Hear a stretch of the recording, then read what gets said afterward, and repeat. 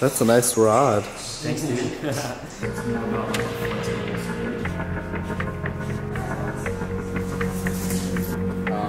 Two, three.